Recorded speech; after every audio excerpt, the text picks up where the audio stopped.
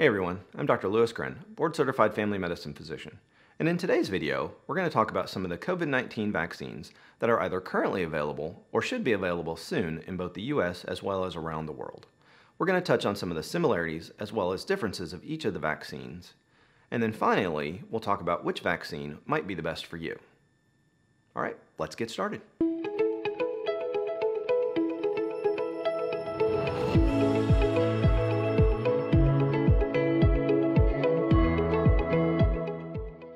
All right, so let's first talk about the two vaccines that are currently authorized for emergency use in the US as well as several countries around the world. Those are the messenger RNA vaccines currently being distributed by Pfizer BioNTech and Moderna.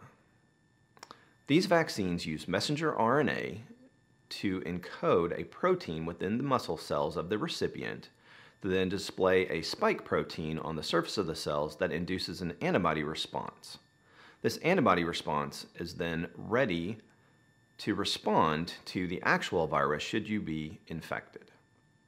Now, I'm not going to spend a lot of time going through the mechanism of actions of these vaccines because there's plenty of other videos out on the internet that can do that for you, probably in much greater detail than I'm going to spend today. So I'm going to go just briefly through how these work and so we can highlight some of the differences of how some of the newer vaccines coming out work just a little bit different to induce that immunity.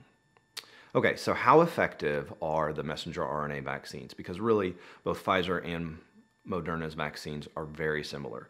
They're both 95 to 94% effective at preventing COVID infection. Now, that's important to note for a couple of reasons. Number one, that's an astronomically high level of effectiveness. But it's also important to note that those studies were done prior to the current variants circulating around the globe that has been shown to lower the effectiveness of the vaccines just a little bit. So as we're going through this video and talking about comparing effectiveness of the vaccines, know that they're probably all very similar if we account for the fact that some of the later trials being done on the newer vaccines uh, are being done in places where the new variants are circulating more so than when the trials were done on the Pfizer and Moderna vaccines. Okay, so the other endpoint that was looked at in the trials is also whether or not they were able to prevent severe COVID. And both the Pfizer as well as Moderna vaccines did this extremely well. In fact, Moderna showed no severe infections in their trial, and Pfizer only had one in the vaccine group. So they are all they are both highly uh, efficient at preventing severe disease. Okay, so what are some of the other similarities? Uh, both Pfizer and Moderna require cold storage. Pfizer a little bit colder than Moderna. You might have heard that Pfizer has to be stored at the ultra cold temperatures, whereas Moderna has to be stored at slightly warmer temperatures. Doesn't require a uh, ultra ultra cold freezer though. So where do they differ? Really, Pfizer and Moderna only differ significantly on the population that they are approved for. So the Moderna vaccine is approved for persons 18 plus, whereas the Pfizer vaccine is approved to 16 plus as they included um, 16 and 17 year olds in their trial. Other than that, these two messenger RNA vaccines are extremely similar. Okay, so the next vaccine we're going to talk about is the Johnson & Johnson vaccine or the Janssen Pharmaceuticals vaccine, which is likely to be the next vaccine authorized for emergency use in the United States as well as used around the world. Now, this vaccine has several differences from the original two vaccines that we just talked about. First off, the way that this vaccine works is different. Instead of using messenger RNA particles, this vaccine actually uses an adenovirus vector, which an adenovirus vector is a modified virus that carries, in this case, information about the spike protein into the cell that then causes the cells to create the proteins that then express the spike protein on the surface of the cell and induce immunity, very similar to how the messenger RNA process is also addressing the spike protein. In fact, all these vaccines are eventually, regardless of how they start, aimed at producing antibodies to the spike protein of the coronavirus. Okay, so there's also some differences in the efficacy, but I think we have to throw a big asterisk on here. because the efficacy in the published data so far is lower than what we saw with the original two vaccines. So the efficacy for the Johnson & Johnson vaccine is 72% across all sites, and this vaccine was trialed in multiple different sites around the world, including places where the new variants that are known to decrease the effectiveness of the vaccines were circulating during the trial period. That's different from the first two vaccines, both the Moderna and the Pfizer vaccines that whose trials were actually done before those variants started circulating. So we really can't say that this one is much less effective than the Pfizer and Moderna vaccines because we don't have good head-to-head data on that. I suspect if Pfizer and Moderna recreated their trials today, they may see different results. In fact, in their Petri dish trials, they have shown decreased efficacy against some of the new variants that are circulating. So in this case, we have a vaccine that is still very efficacious, though. 72% is still very good. And in fact, if we look at its ability to prevent severe COVID, which was another endpoint that we talked about in the first two vaccines, um, it actually showed an 85% efficacy against severe COVID after 28 days and a 100% efficacy against severe COVID at 49 days. So again, it matches the efficacy, at least of severe COVID, to the first two vaccines. That's important because it's that severe COVID that will keep our hospitalizations low and ultimately keep our death rate low.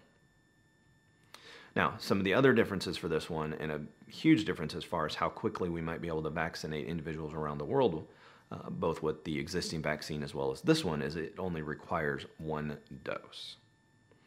That is going to allow us to reach a level of full immunization much quicker with this vaccine because individuals will not have to come back at either 21 or 28 days later like they have to do in the Pfizer and Moderna vaccines. So this vaccine can also be stored at temperatures that are closer to a normal refrigeration temperature, which again makes distribution and storage much easier for this vaccine. Okay, the next vaccine that we're going to talk about is the vaccine that was developed by AstraZeneca and Oxford out of the UK.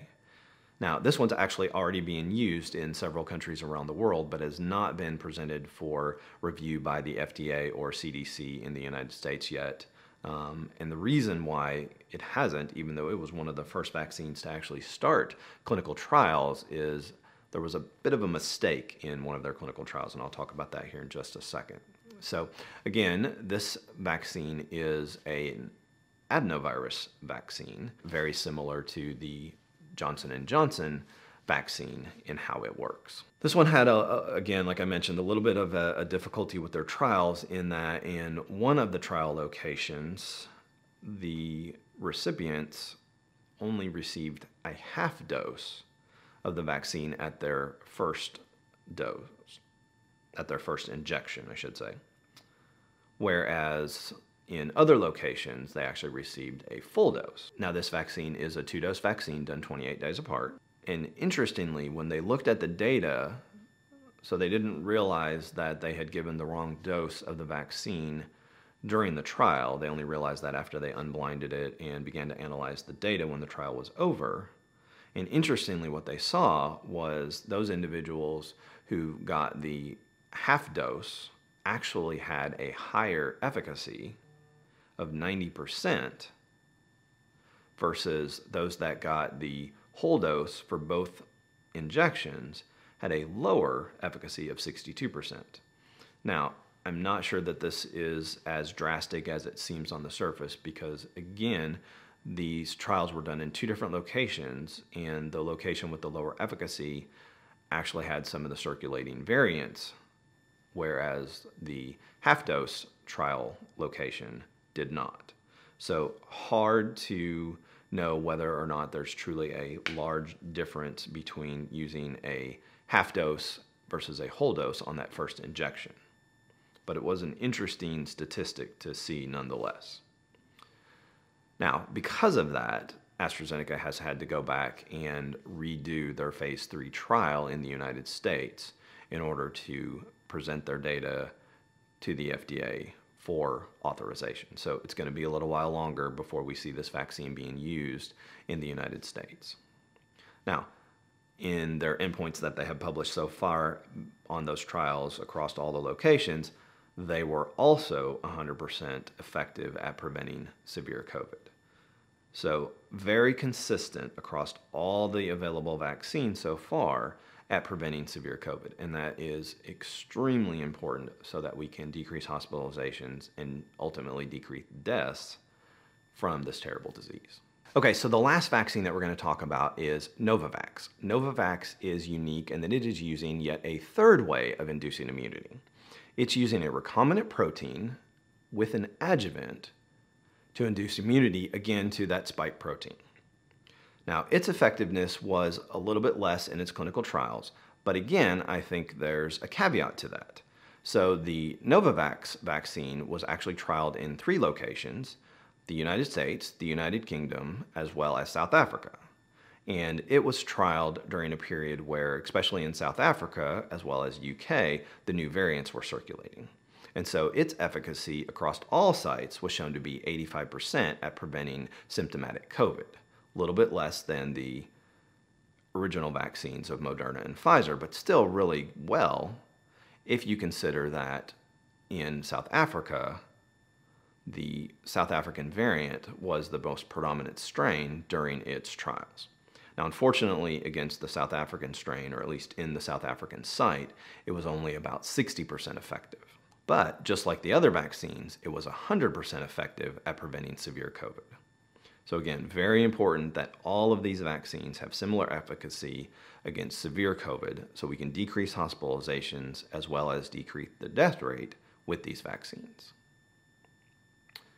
Now, another good thing about the Novavax vaccine is that it does not require the ultra cold or ultra ultra cold storage like Moderna and Pfizer, so it can be distributed to parts of the world that won't have access to these ultra cold freezers. Again, making it a little bit easier to distribute to places that some of the other vaccines may not be able to reach. So, just to recap, all of the vaccines that we've talked about, Pfizer, Moderna, Johnson & Johnson, AstraZeneca, and Novavax are highly effective, better than we could ever have imagined when they started their clinical trials and started developing these vaccines. Yes, we are seeing some decreased efficacy in the recent trials due to some of the circulating variants, but they are all responding to that by looking at updating their vaccines or testing booster shots to the current vaccine. There is some differences in how they're stored, as well as there are a one-shot or a two-shot vaccine. Currently, the only one-shot vaccine is the Johnson & Johnson vaccine. There is some subtle differences in that the in the time period between the two vaccines, um, but that's fairly immaterial at this point. Most importantly, they all are approximately 100% effective at preventing severe COVID. Now, which vaccine is right for you? Well, because these vaccines are still in scarce supply, we really can't be choosy about which vaccine you get. Unfortunately, that's going to be determined by which vaccines are authorized in your country, as well as which vaccines are distributed to your area. In the United States, the federal government, as well as the state governments, are distributing the vaccines out to hospitals, pharmacies, and physician offices. And unfortunately, at this point, I think you're going to have to just take what you can get. We really can't be choosy at this point of which vaccine we get. Now, thankfully, they all work. They're all very efficacious. And so you really shouldn't be disappointed if you get one of the newer vaccines that has shown to have slightly less efficacy because in the end, I don't think this is really going to be that big of a difference especially against some of the new circulating variants that are starting to become more prominent even in the United States. So, all right, I hope you've enjoyed this video. Please leave me a comment down below and let me know which vaccine you've gotten if you've been lucky enough to get one so far. Uh, consider liking this video. It helps others see the video. And I hope you'll consider subscribing to my channel for more videos in the future. And as always, remember, be safe out there.